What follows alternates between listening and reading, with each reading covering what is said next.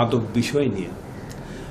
আপনার কেরানীগঞ্জ মডেল থানার বিভিন্ন জায়গায় আমরা শুনেছি বিভিন্ন পত্রপত্রিকায় দেখেছি বা মাদক বেচাকিরি হচ্ছে। এই মাদকটা শুধু এখানে বেচাকিরি হচ্ছে তা না, বিভিন্ন জায়গার থেকে বহিরাগতরা এখানে এইসব বেচাকিরি করছে।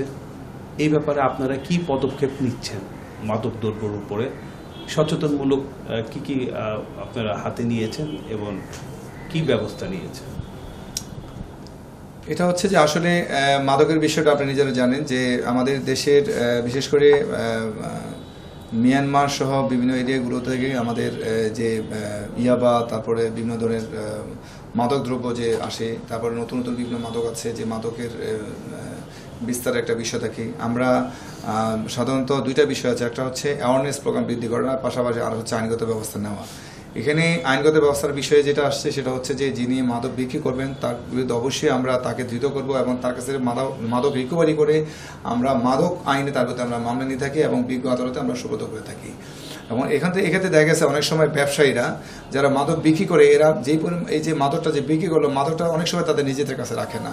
বিভিন্ন পদ্ধতিতে তারা মাদকটা বিক্রি করে থাকে। আমরা নিজেরও দেখেছি যে অনেক সময় ছাতির ভিতরে, অনেক সময় মরিচের ভিতরে, অনেক সময় চকলেটের ভিতরে, অনেক সময় নিজের শার্টের কলারের ভিতরে, বেল্টের ভিতরে প্যান্ট, প্যান্টের বিভিন্ন হুক থাকে যে ই থাকে, সেটার ভিতরে প্যান্টের নিচে যে বর্ডার থাকে বর্ডারের ভিতরে।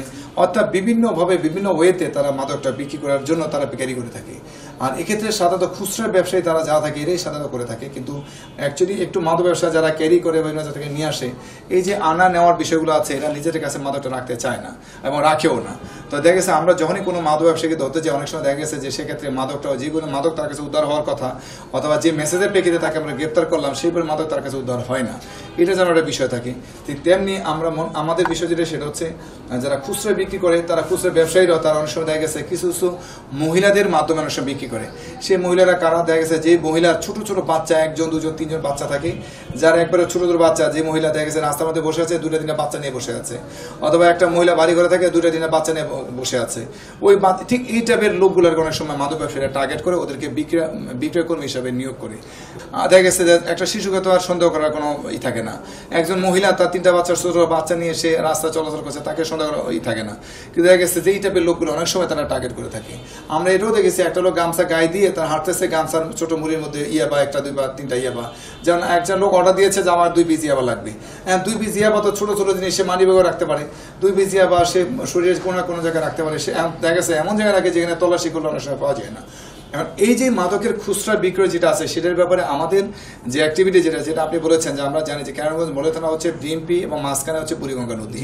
এই পাশে হচ্ছে কামাঙ্গিচর থানা এই পাশে হাজারবাগ থানা এই পাশে কোতালি থানা দক্ষিণ কেরানীগঞ্জ থানা তারপরে সাভার থানা তারপরে লালবাগ থানা আছে, হাজারিবাগ থানা আছে সাভার থানা আছে। তো এই যে থানার বর্ডারগুলো আছে এই বর্ডারগুলো দিয়ে চতুর্দিকে কিন্তু নদীর পথে যাতায়াতটা। আপনি দেখেন যে নদী পথে যাতায়াতে বিভিন্ন ক্যাটাগরি বিভিন্ন লোকজন নদী পথে চলাচল করে। এখন এখানে নদী পথে নৌ পুলিশ আছে, আমরা এই পথে আমরা আছি। এখন অপরাধী জন অপরাধ করে সেজন মনে করে যে এলাকা এই এলাকায় এই সময়টা নিরাপদ, সেখানে তারা আসে। ওই এলাকাটা ওই সময় নিরাপদ, ওই জায়গায় যায়। ওই ওই এলাকাটা, ওই জায়গাটা নিরাপদ, ওই সময় যায়। এইভাবে তারা ঘুরে ঘুরে ঘুরে তাদের খুচরা কাজটা করে থাকে। আবার দেখা গেছে যার সাথে কন্ট্যাক্ট করে, যার সাথে কথাবার্তা বলে বিক্রি করে, তার কাছে যে কি কন্ট্যাক্ট করল, যিনি বিক্রি করবেন, তার কাছে ইটা থাকে না, মাদকটা থাকে না, থাকে আরেক জায়গায়। ওনাকে বলে দেয় যে, আপনাকে মাদক বিক্রি করলাম, এত টাকা মাদক বিক্রি হয়েছে, এত টাকা, আপনি অমুক জায়গায় গেলে মাদকটা পাবেন। লোকেশন দিয়ে দিল দেখা গেছে অমুক জায়গায় গিয়ে মাদকটা আহ, পেল ওখানে নিয়ে আসলো। একটা জায়গা দেখা দিয়ে ওই জায়গায় গেলে মাদকটা পাবে নিজের কাছে রাখে না। তো এই যে মাদকের বিকিটা যে বিকি যিনি করেন উনিও বিভিন্ন সল ছাত্রীর আশ্রয় নিয়ে বিভিন্নভাবে বিভিন্ন ওয়েতে উনি মাদকটা রাখেন এবং বিক্রি করে থাকেন। আমাদের বিষয় যেটা সেটা হচ্ছে যে এই যে যত যতই প্রতিকূল পরিবেশ হোক, যতই প্রতিকূলতা থাকুক এবার আমাদের মধ্যে যেটা সবচেয়ে করতে হবে সেটা হচ্ছে আমাদের দরকার হলো সামাজিক সচেতনতা। আমরা সামাজিক সচেতনতার ক্ষেত্রে আমরা মসজিদে প্রতি শুক্রবারে আমরা সম্মানিত ডিএজি মহোদয় ঢাকা রেঞ্জের ডিএজি মহোদয়ের নির্দেশনা মোতাবেক আমরা মাদক ব্যবহারের ক্ষেত্রে সচেতনতা, মাদকের কুফল সব কিছু নিলেই আমরা বিভিন্ন সচেতনমূলক প্রোগ্রাম করে যাচ্ছি। যখনই আমরা এক্ষেত্রে সচেতন হব, সকলে মিলেমিশে যাতে মাদকের স্পোর্টকে যেমন মাদকের স্পোর্ট হিসেবে আমরা কাউন্ট করব না মাদক বিক্রয়কারী হিসেবে যারা বিক্রয় একদম বিক্রেতাকে যাতে আমরা আমরা যাতে সহজে তার মধ্যে আইনগত ব্যবস্থা নিতে পারি, এক্ষেত্রে সার্বিক সকলের সহজে নিয়ে আমরা তাদের বিরুদ্ধে সোচ্চার হওয়া। আমাদের আইনগত কিছু বিষয় থাকে যেটা হলো, অনেক দেখা গেছে যে অনেক বিক্রয়, অনেক মাদক বিক্রেতা থাকে অথবা মাদক শিল্পী থাকে, যাতে আমরা অনেক সময় মোবাইল কোডের একটা ফাংশন থাকে এখানে। এখন মোবাইল কোডের ফাংশন যেখানে নির্বাহী মিস্ত্রি হিসেবে যারা কাজ করেন মোবাইল কোডের খোটা যারা করেন, অনেক সময় দেখা গেছে নির্বাহী ম্যাজিস্ট্রেট বা আমাদের বিগো ম্যাজিস্ট্রেট যারা থাকেন, সেখানে যে এলাকা মাদক বিক্রি হয় বা মাদক কেনা বেচা মাদক খাওয়া দাওয়া হয়। সেখানে যখন এলাকায় শুনে যে একজন ম্যাজিস্ট্রেট এলাকায় আসছে, পুলিশ তাকে নিয়ে আসছে। আর পুলিশ তো গেলে পোশাকে যাবে। ম্যাজিস্ট্রেট গেলে সাধারণত কোনো এলাকায় খাকি পোশাকে গেলে, কোনো এলাকায় ম্যাজিস্ট্রেট ঢুকলে ওই এলাকায় খবর যায় ম্যাজিস্ট্রেট আসতেছে। সেখানে দেখা যায় যে অনেক মাদক বিক্রি বা সেবন করে জানা আছে, সেখানে তারা মুহূর্তের মধ্যে মেসেজ পেয়ে তারা সেখানে থেকে চলে বিভিন্ন জায়গায় মুহূর্তের মধ্যে তারা সরে যায়। সেখানে দেখা গেছে মোবাইল করে তখন সেখানে ইফেক্টিভলি কাজ করা যায় না।